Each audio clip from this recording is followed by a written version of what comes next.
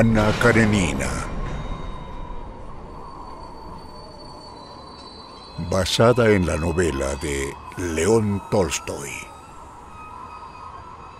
Texto adaptado por Sergei Garmash.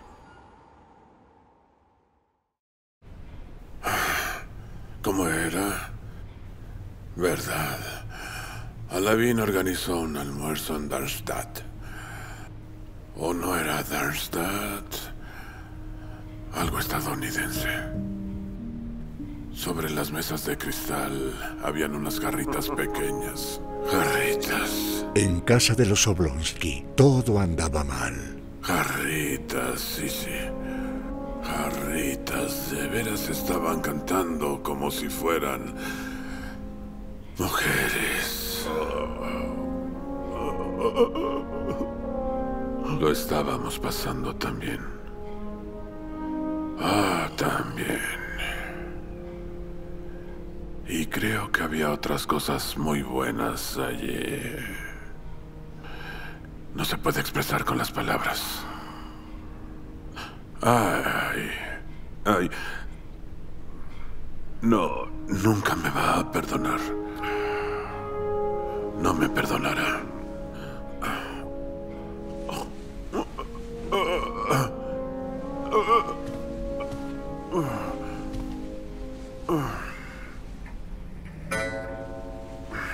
Estábamos pasando también. También. A la hora habitual, es decir, a las 8 de la mañana, Stepan Oblonsky, Stiva, como todos lo llamaban en la sociedad, no se despertó en el dormitorio de su mujer, sino en su estudio, en el sofá de tafilete. Vivíamos tan bien. Qué mal que ella era institutriz en nuestra casa. Hay algo trivial, algo de mal gusto en cortejar a la institutriz de tus propios hijos. Timofey, afeítame. Mm, mis queridos, mm, mis dulces niños. Mm. Ay, basta, basta, basta. Ven aquí. Ven aquí a mis brazos. Ay, mi cielo, ¿qué ocurre? Entonces, ¿y su mamá? Ya se levantó. Ya, ya. ¿Está contenta? No lo sé. Dijo que hoy no teníamos que estudiar. Seguro que no me perdona. Ya, ya, ya, ya. ¿Qué hora es? Ya han pasado las once, señor. ¿Por qué entonces no me despertaste a la hora, canalla? Eh, lo intenté, pero no pude. Ah, Le ha llegado un telegrama. ábrelo.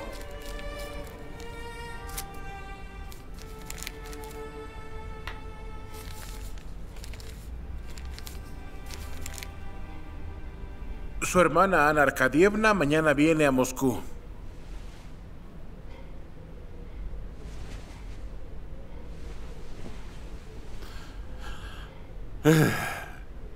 El señor me ha escuchado. ¿Llegará sola o con su esposo? No dice nada sobre el esposo. Eh, ¿Debería prepararles la habitación de arriba? Comunícaselo a Daria, ¿quieres? Prepárales la habitación que deseen. ¿Comunicárselo a Daria? Sí, anda, ya, anda, anda, comunícaselo. Toma el telegrama. Espera allí hasta que te dé respuesta. Como usted mande. Daria me mandó para que le comunicara que ella se iba. Me dijo que usted podía hacer lo que le diera la gana. ¿Ah, sí?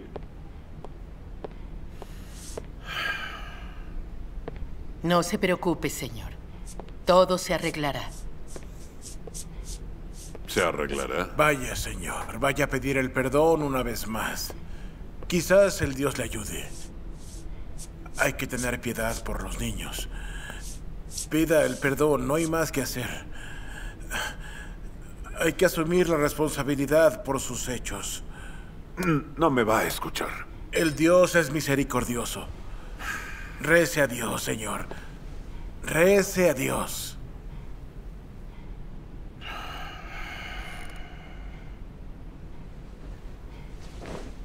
Todas las familias felices se parecen unas a otras.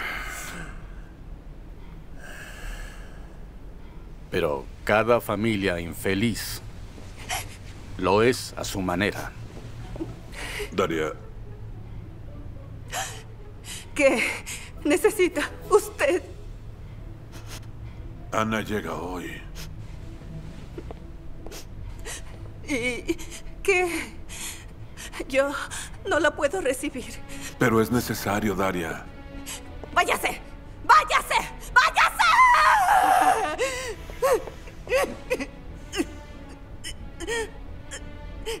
Por Dios, Daria. ¿Qué te puedo decir? Por favor.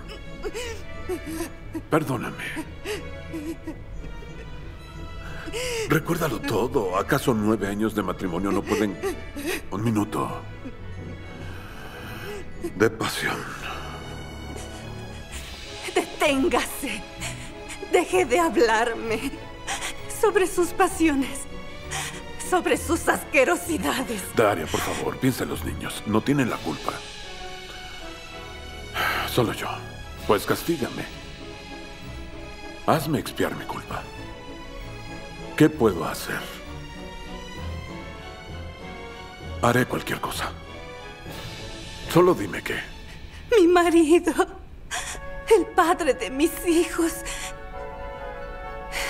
ha tenido una aventura con la institutriz de sus hijos. Es asqueroso, es repugnante. Usted nunca me ha amado. No tiene corazón ni honor. Usted es vil, asqueroso y repugnante. Me es ajeno. Exacto. Ajeno.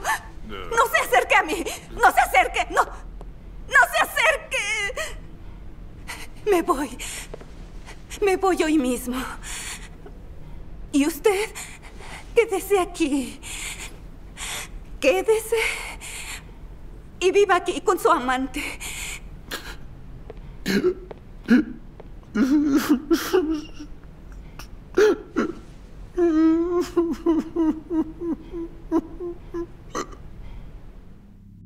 Capítulo 1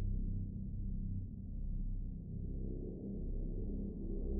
Tormenta de nieve. ¡Ven aquí! ¡Oye, Norras! ¡Ven, vamos a jugar! ¡Ay, vamos! ¡Corre con nosotras! Buenos días. Buenos días.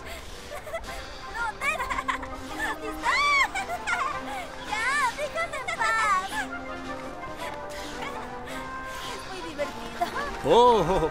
El primer patinador ruso. ¿Hace mucho que está aquí? Me alegro verlo. El hielo está muy bueno. Póngase los patines. No tengo patines.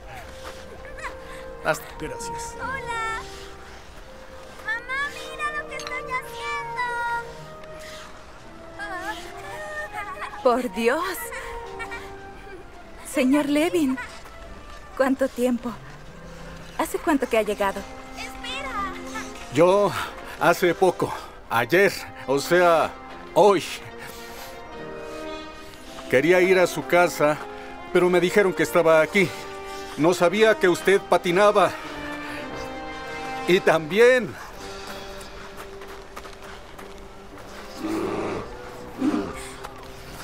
Aprecio mucho sus elogios. Las leyendas de aquí dicen que usted es el mejor patinador. Sí, solía patinar con pasión, quería alcanzar la perfección. Parece hacer todo con pasión. Me encantaría ver cómo patina. Póngase los patines enseguida y patinemos juntos. Lleva usted un tiempo sin pasar. Sí, un tiempo. ¿Cómo va la vida? Todo bien, gracias a Dios. Nadie de los patinadores logró alcanzar su nivel. Eh, a ver si le quedan bien estos. Seguro que sí. Permítame su pie. Dese prisa.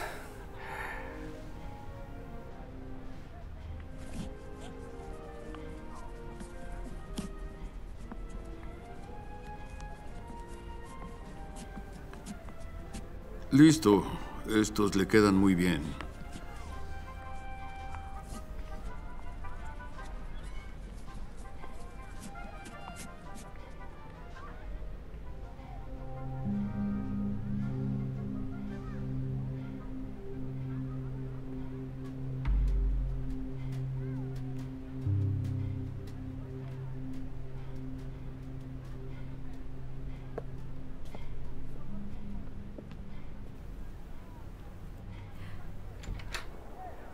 Con usted aprendería más rápido. Por alguna razón confío en usted. Y yo tengo confianza en mí si usted está conmigo. ¿Está todo bien en su vida? Aunque no tengo derecho a preguntarle. ¿Y por qué no? Bueno, debo decir que todo está bien. ¿Cómo es que no se aburre en la aldea en invierno? Eh, no me aburro, estoy muy ocupado. ¿Piensa quedarse mucho tiempo? No lo sé. ¿No lo sabe? No lo sé, depende de usted. Miren, miren, el maestro, el campeón.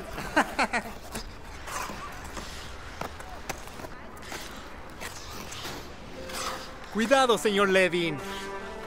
Estas cosas se olvidan rápido.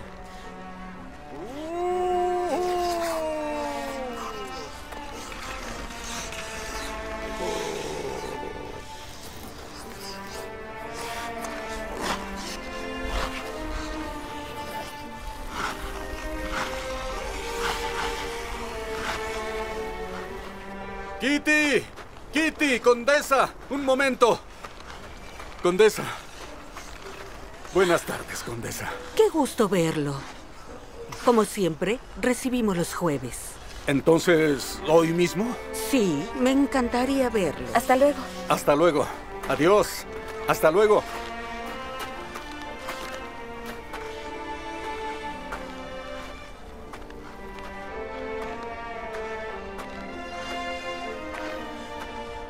¡Constantín!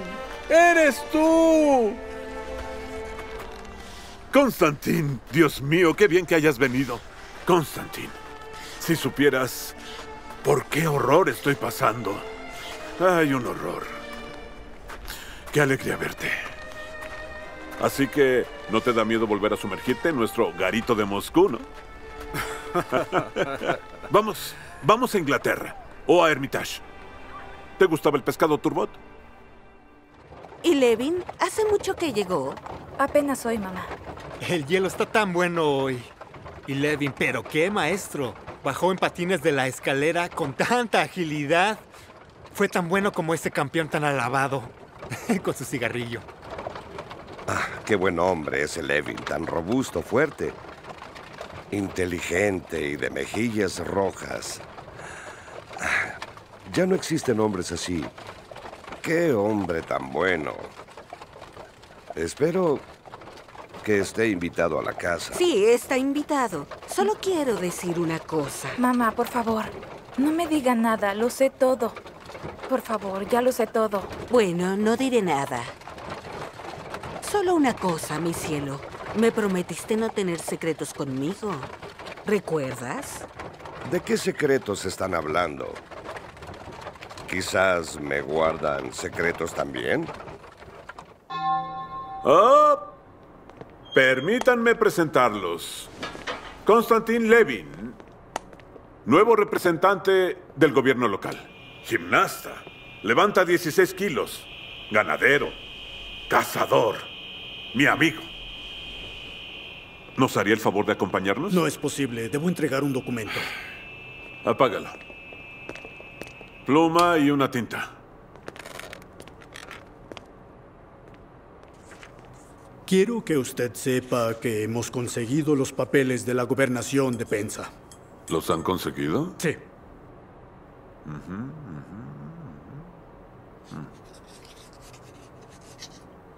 ¿No habías jurado que nunca llevarías un traje europeo? De verdad necesito hablar contigo. Ah, yo también, Constantín. Si supieras qué terror estoy viviendo. No puedes ni imaginarlo. No puedo olvidarlo ni por un segundo. Dime, dame, dame un consejo. Imaginemos que estás casado y amas a tu esposa. Pero te gustó otra mujer. ¿Qué se puede hacer? Disculpa, no puedo entenderlo, de verdad.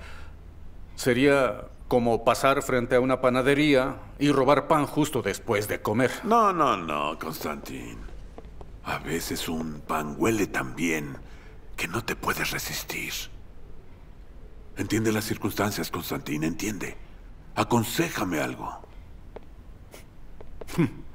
No robes pan, Steva. ¿Y las ostras? Tenemos frescas, señor.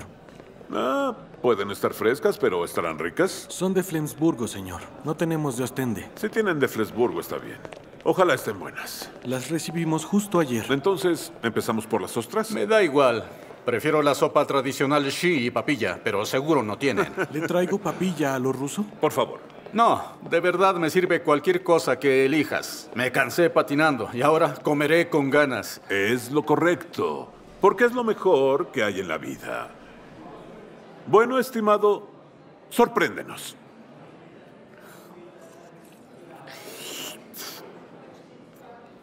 Nada mal. ¿A ti no te gustan? ¿O estás preocupado? Sí, preocupado.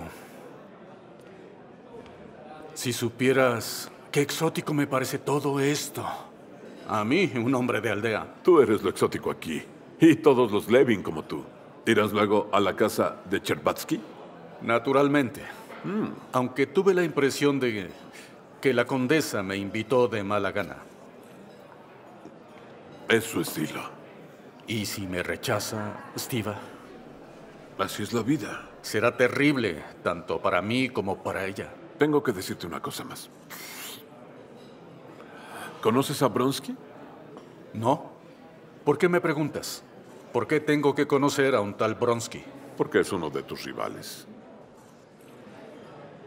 Es increíblemente rico, guapo y tiene muchos contactos. Es ayudante de campo. Además, es muy simpático, bondadoso, muy culto e inteligente. Es una persona que conseguiría todo en la vida. Un aristócrata de sangre. Tengo curiosidad. ¿Qué carácter de aristocracia debe tener Bronsky para que me desatiendan a mí? ¿Lo consideras un aristócrata? Disculpa, no lo conozco personalmente, pero me han hablado sobre él. Su padre subió del fondo solo gracias a su astucia. Su madre ha tenido aventuras, Dios sabe con cuántos hombres. No, disculpa, me considero aristócrata a mí y a aquellas personas que se parecen a mí y que pueden indicar tres o cuatro generaciones Bueno. honestas que fueron educadas de la mejor manera posible.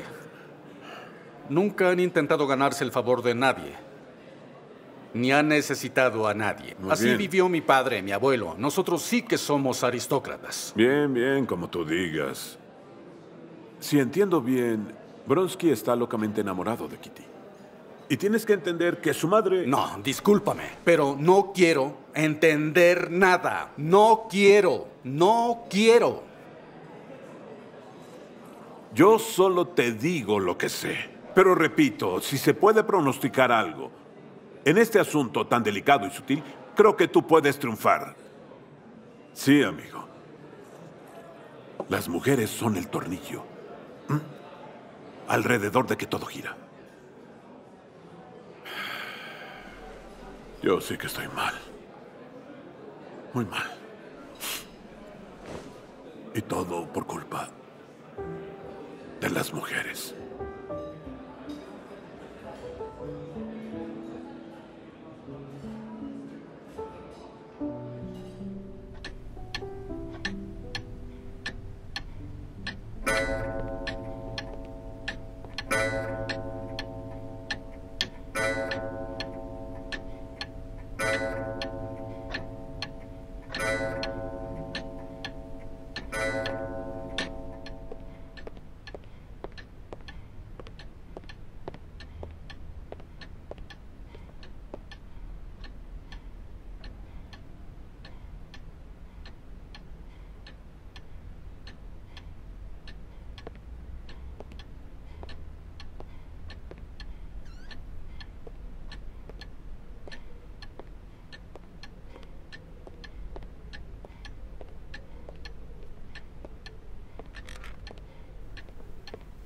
Quizás he llegado demasiado temprano, No. pero era lo único que quería que usted esté sola. Eh, le he dicho que no sabía cuánto tiempo iba a quedarme, que eso dependía de usted. Que quería decirle que lle- llegué porque porque usted sería mi esposa. Es imposible. Lo lamento. La condesa Norton. Ah, señor Levin. Vuelve a visitar nuestra Babilonia viciosa. ¿Qué ha ocurrido? ¿O Babilonia se expió o usted se corrompió? Kitty, ¿patinaste otra vez? ¿Va a quedarse mucho tiempo en Moscú? Dicen que usted es representante del Sembo. Entonces no podrá quedarse por mucho tiempo. No, condesa. Ya no me ocupo del Sembo. Solo vine por unos días. Señor Levin, explíqueme por favor el significado de lo siguiente. Seguro usted sabe sobre esto. En la gobernación de Kaluga, los campesinos gastaron todo en alcohol. Y ahora no tienen con qué pagarnos. ¿Qué significa? Usted siempre alaba a los campesinos. Disculpe, condesa, pero a decir verdad no entiendo nada de eso. Y no podría decirle nada. El conde Bronsky. Kitty, querida. Buenas tardes. Condesa, qué gusto verla. Déjenme presentarlos. Konstantin Dmitrievich Levin, el conde Alexei Bronsky. Parece que este invierno debía almorzar con usted, pero volvió repentinamente a la aldea. El señor Levin odia a la ciudad y a todos sus habitantes. ¿Usted siempre vive en la aldea? Parece aburrido en invierno. No, si tienes cosas que hacer. Um, Además, no me aburro solo. Sí, me gustan las aldeas. Solo espero que no quieras vivir siempre en una. No sé, no lo he intentado. Un día tuve un sentimiento extraño. Nunca he extrañado tanto la aldea rusa, la de los laptis y los campesinos, como en el invierno en Niza con mi madre. Niza es aburrido, ya saben. Nápoles, Sorrento, también tiene gracia, solo por un tiempo. Y justo allí apareció el recuerdo de Rusia. Y sobre todo el de la aldea. Sí, sí, la aldea.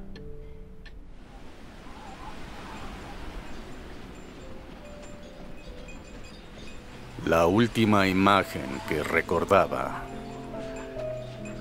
era la cara feliz y sonriente de Kitty, que contestaba a Bronsky. No sirvo para otras personas. Muchos dicen que es orgullo. Pero no tengo orgullo. Si lo tuviera, no estaría en una situación tan incómoda. Sí. Tenía que elegirlo a él.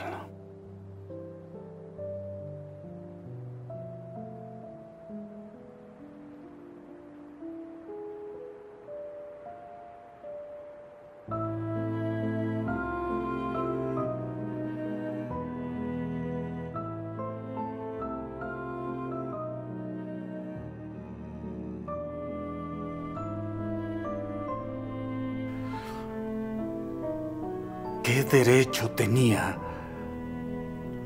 de pensar que le gustaría unir su vida con la mía?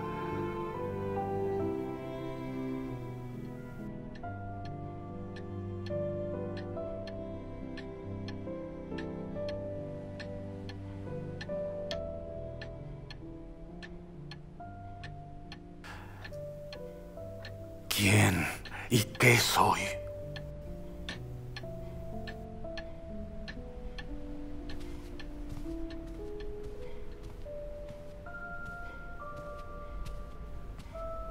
Señor, ¿cómo está? ¿No se aburre en casa?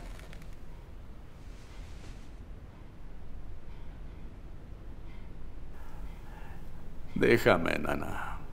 Anda a dormir.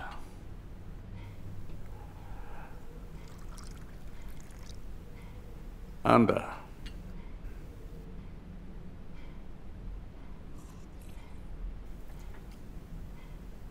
Soy un miserable. Nadie... Nadie me quiere. ¿Qué cosa? Ya les digo, que ustedes no tienen honor ni dignidad, que deshonran a mi hija con ese noviazgo tan infame papá, y despreciable. ¿Qué han hecho? A ver, primero atraen al novio. Es lo que se va a contar en todo Moscú. Y lo han logrado. Lo han logrado. Quitarle el sueño a la muchacha con ese Bronsky. Levin es mil veces mejor persona. Y a estos hombres de San Petersburgo los hacen en una fábrica y todos son iguales. Todos mal hechos. Si es así, entonces hay que ir a la aldea. Sí, es mejor ir. Es mejor ir. Pero, papá, no tendremos que quedarnos en la aldea para siempre, ¿o sí? Pero Bronsky es muy bueno y puedo ver que está enamorado de Kitty, ¿entiendes? Enamorado y ella de él también. Es solo su impresión. Ella está enamorada de verdad, mientras que él piensa tanto en casarse como yo. Ah, ojalá mis ojos no lo vean. Oh, Nisa, o en el baile. ¿Y si esto se le mete en la cabeza de verdad? ¿Ah? ¿Pero por qué dices esto? Pues es porque yo lo sé. Para esto tenemos los ojos y ustedes no. Si veo a un hombre que tiene intenciones serias, es Levin. Y ahora es un problema. Bueno, bueno, dejémoslo aquí. No continuemos más, lo pido por favor. Dios mío, ten piedad, ten piedad. Es tarde. Adiós al Dios misericordioso.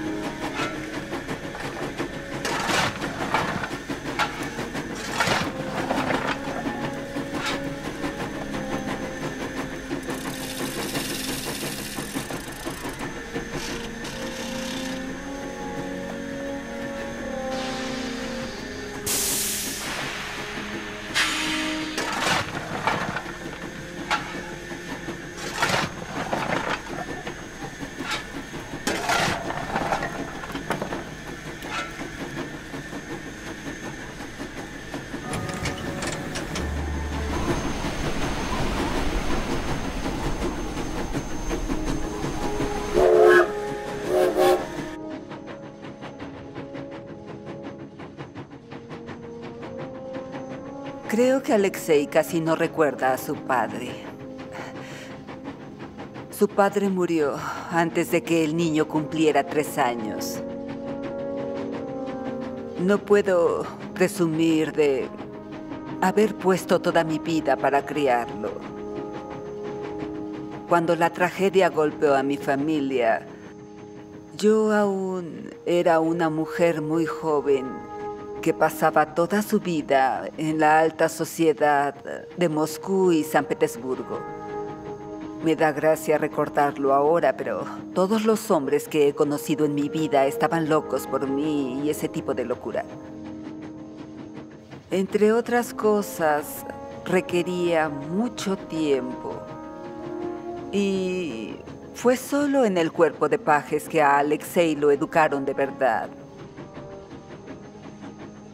Era aún muy joven cuando salió de la escuela. Inmediatamente lo nombraron oficial y enseguida pasó a formar parte de los militares más brillantes de San Petersburgo. Debo decir que Alexei, incluso por la mera apariencia, sobresale al instante de cualquier entorno, aunque sea el más brillante, y aún más el de los oficiales.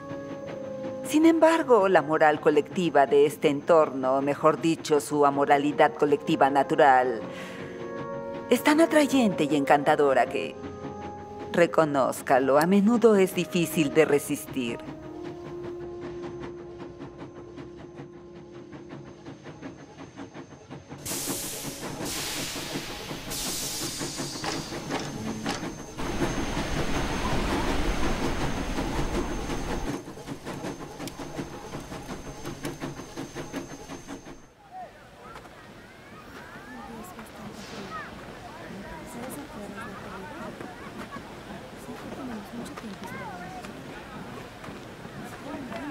Estimado, ¿a quién espera? A mi madre. Llega ahora de San Petersburgo. ¿A quién espera usted? A una mujer linda. Mm, interesante. A, a mi hermana. Mi hermana Ana. ¿Ana Karenina? Creo que la conoces. Creo que sí. O no. No me acuerdo. Pero, ¿conoces a Alexei Karenin, mi cuñado famoso? ¿Es conocido por todo el mundo? Bueno, conozco su reputación y su aspecto. Sé que es inteligente y muy culto. Algo así como una divinidad. Y aquí llega. Señor, ¿cómo está? ¿Podría darme la hora?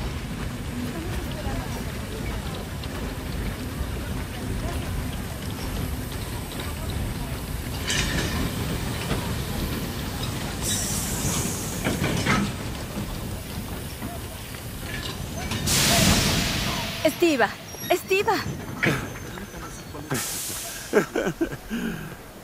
Ana, Ana, mi querida Ana, Ana, qué alegría verte. Bueno, condesa. Ya se han agotado todas nuestras historias. No hay nada más que contar. ¿Qué dice, querida? Yo iría alrededor del mundo con usted y no me aburriría. Usted es una de estas mujeres adorables con las que es agradable tanto conversar como quedarse en silencio. Y no se preocupe por su hijo, es imposible siempre estar juntos sin separarse. Ana tiene un hijo de ¿Cómo se ocho llama? años y no ¿El me perro? Le No, preocupa usted. haberlo dejado Pasamos solo. todo el viaje hablando. La condesa sobre su hijo y yo sobre el mío. Espero verla pronto.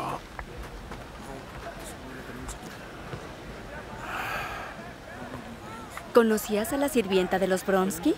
Es la primera vez que la veo. Estiva. Ana, qué bueno que hayas venido.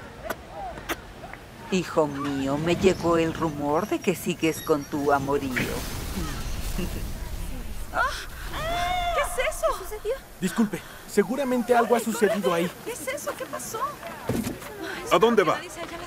Señores, ya vuelvo. ¡Corre! corre! ¿A dónde van, señores?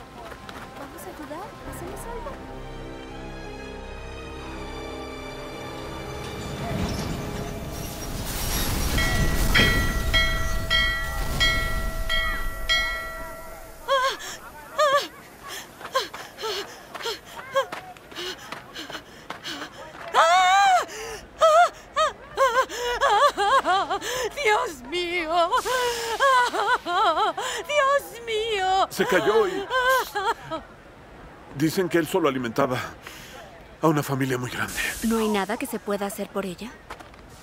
Disculpe otra vez. Usted ha entregado 200 rublos a mi asistente. ¿Puede explicar, por favor, quién es el destinatario? Seguramente la viuda. No entiendo qué duda puede haber en esta situación. Nos vamos.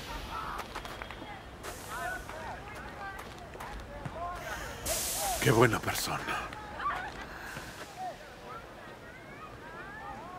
¿Mm? Ana, ¿qué pasa? Es una mala señal.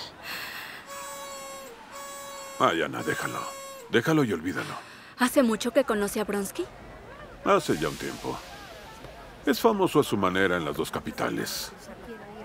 Aquí en Moscú esperamos que finalmente se case con Kitty. Y todo apunta a que será pronto. ¿Ah, sí? Sí. Daria me lo contó todo. Linda, no quiero defenderlo a él ni consolarla a usted. Él estuvo mal. Simplemente tengo mucha pena por usted. Es imposible consolarme. Todo está perdido después de lo que ha pasado. Todo se acabó.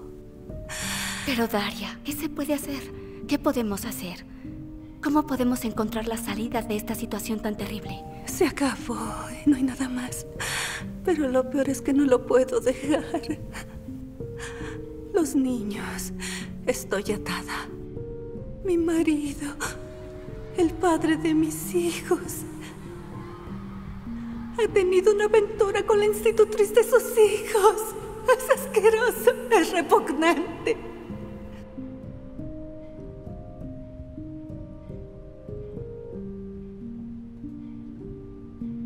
Ella es joven. Es bella. Y mi juventud, mi belleza, ¿quién me la robó? Él y sus niños. Y lo peor es que dentro de mi alma todo se revolvió y en vez del cariño y amor, solo tengo odio. Me dan ganas de matarlo. entiendo. Pero no se torture. Conozco la sociedad. Conozco esta gente y cómo interpretan estas cosas. Trazan una especie de línea invisible entre la familia y esto. No lo entiendo. Pero es así, Daria. Mi bella. Entiendo su sufrimiento, créame. Hay solo una cosa que no puedo saber. Si en su corazón queda algo de amor por él, solo usted puede saberlo.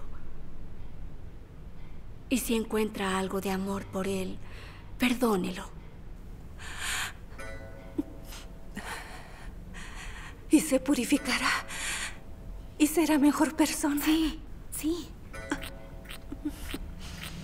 Y se purificará y será mejor persona, Sí. querida. Sí.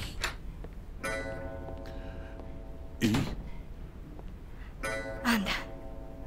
Y que Dios te proteja. Voy a entrar. Estiva. Estiva. Bueno.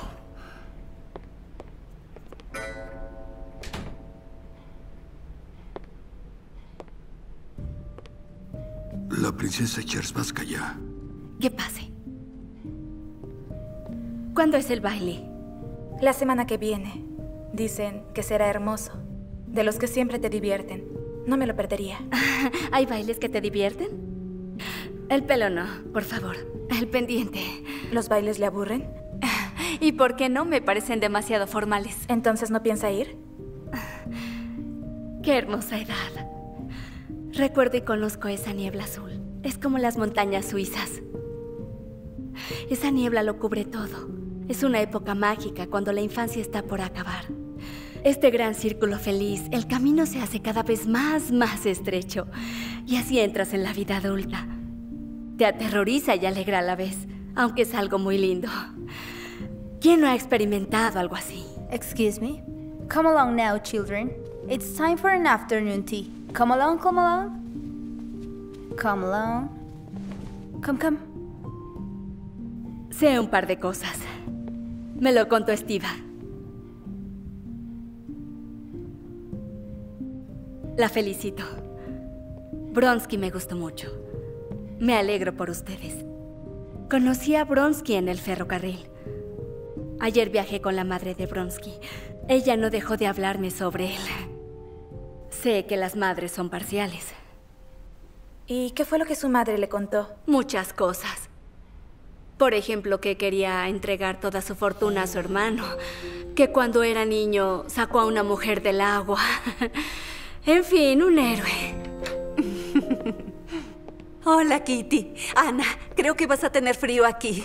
Me gustaría trasladarte abajo, más cerca de nosotros. Saben que siempre duermo como una marmota. Pero ¿para qué complicarse la vida? Permítanme organizar todo.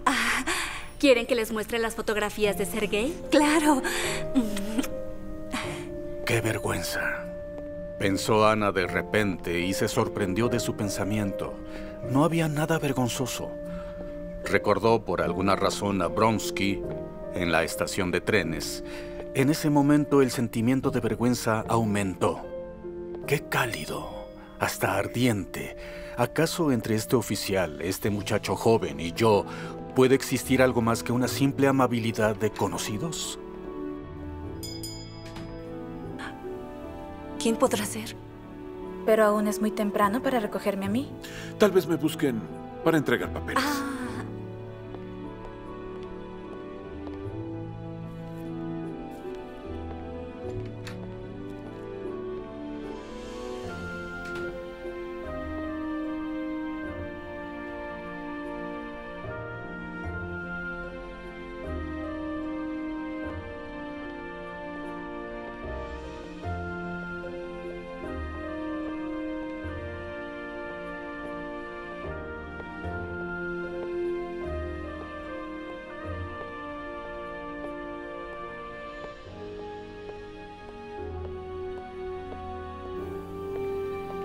Sergei. Fue el año pasado. Aquí estamos Sergei y yo. Sergei y el señor Karenin. Mm. ¿Quién era Stiva? Bronsky. Era sobre el baile de mañana. Mm. Por alguna razón se rehusó a pasar. Estaba muy extraño.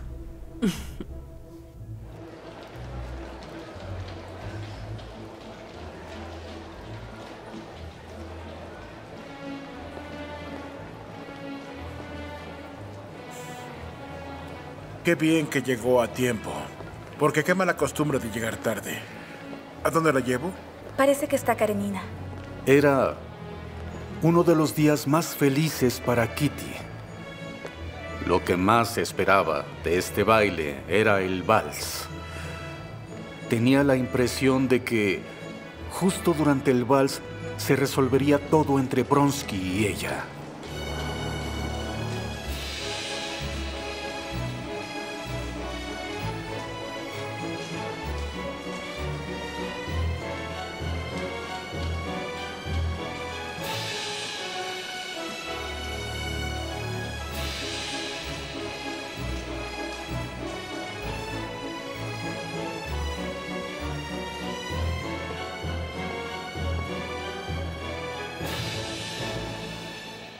Señora Karenina, ¿una vuelta de vals? No bailo. Si se puede evitar. Esta noche no se puede rehusar a bailar. Bueno, si no hay otra opción, entonces vamos.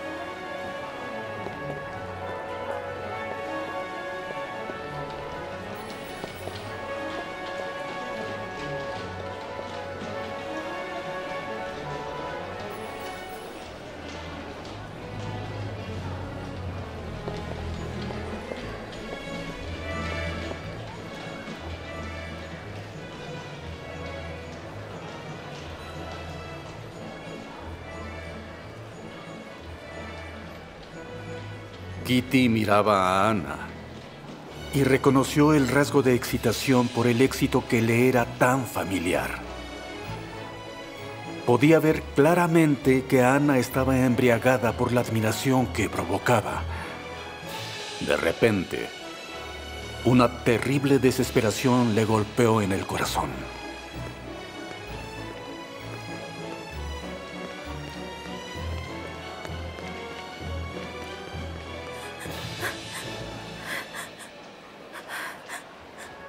¿Está completamente decidida a irse hoy? Sí. Sí.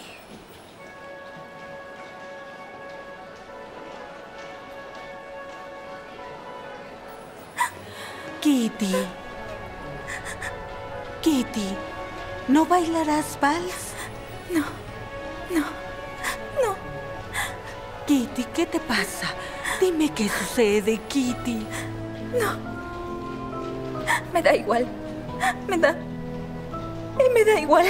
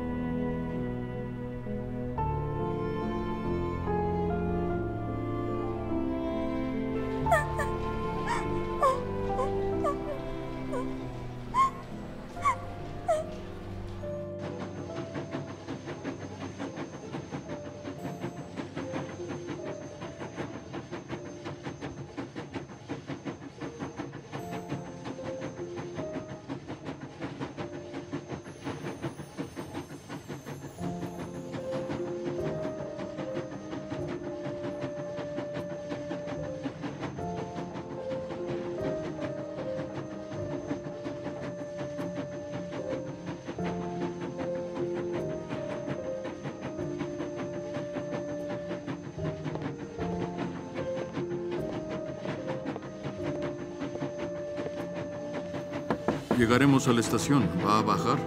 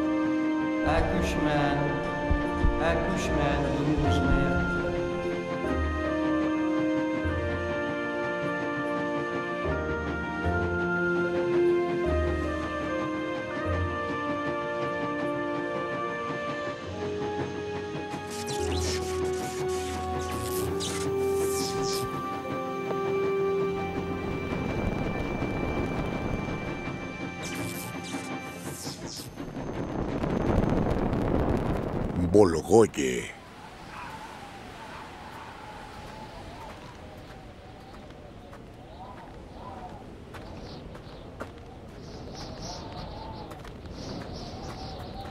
Por favor, con cuidado. Está resbaladizo. Hay una tormenta de nieve. Oiga,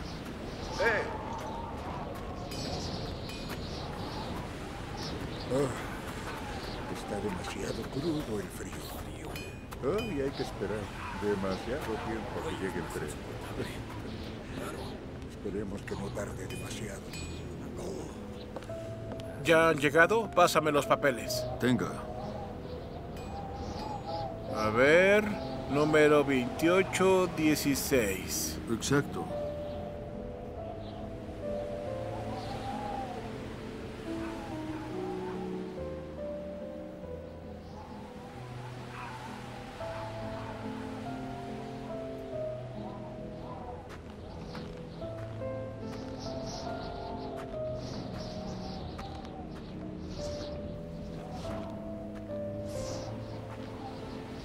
Ayudarle en algo? ¿Usted? No sabía que viajaba. ¿Para qué viaja? ¿Para qué? Yo, usted sabe, viajo para estar donde usted. No puedo... No puedo de otra manera. Discúlpeme si le molesta lo que acabo de decir. Está mal lo que dice. Le pido, si usted es buena persona, que olvide lo que acaba de decir como lo haré yo. No podré olvidar nunca ni una palabra suya, ni un gesto suyo. Basta. Señora Karenina, Vamos con la ayuda de Dios. Cuidado, el tren parte. Permítame.